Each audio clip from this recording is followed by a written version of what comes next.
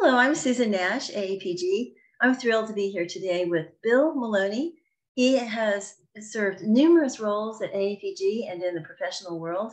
And right now he is here to talk to us about the upcoming CCUS conference. So welcome, Bill.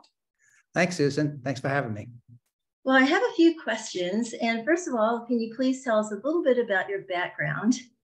Okay, so um, I retired uh, as an executive vice president from Equinor at the end of 2015. Since then, I've uh, served on multiple boards, both on private companies as well as universities. I'm a co-chair of AAPG's Sustainable Development Committee.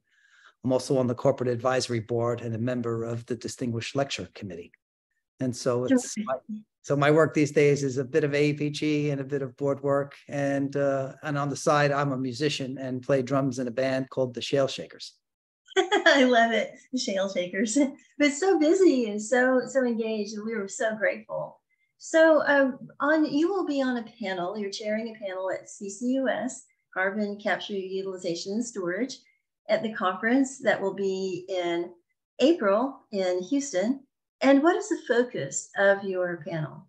So, my panel's focus is just like what the title indicates it's CCUS 10 years on.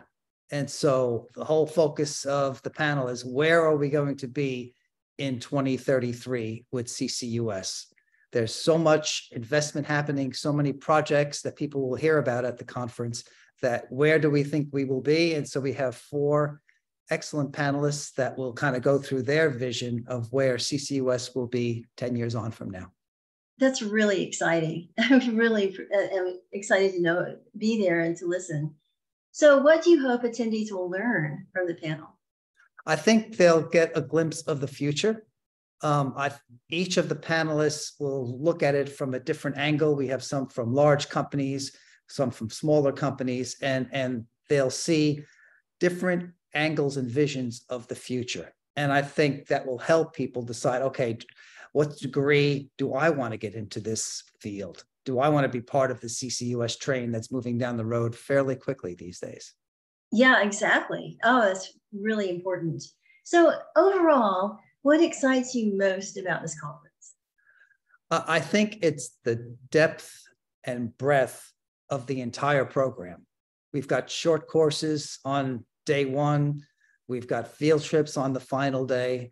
And then we've got three days packed with great speakers um, and, and good keynote speakers, great panels, wonderful technical content.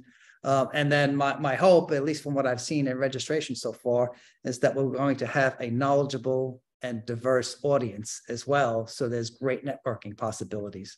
So I'm, I'm really excited about the whole thing uh, because of its depth and breadth of the program that has been put together by the organizing committee. Oh, that's wonderful. and so excited. So, so just to kind of um, take a step further, how do you think the attendees will specifically benefit? I mean, you mentioned networking and knowledge, et cetera. Are, will, there be, will there be opportunities for them to kind of take first steps to put the knowledge in action? Yeah, I think so. I, I, you know, I think the conference will bring everyone up to date on latest advances in CCUS around the world, right? One of the speakers, one of the keynotes we'll have will talk about a global study of CCUS projects uh, around the world. So they'll see the latest developments. So it'll be rewarding for people just getting into the field. It'll be also be rewarding for folks that are quote unquote experts within the field. There's a bit for everyone there to kind of take away. Oh, that's really great. So thank you again, um, Bill Maloney and, CCUS um, and many other activities, and really looking forward to seeing you at the conference. Great. See you there, Susan. Thank you.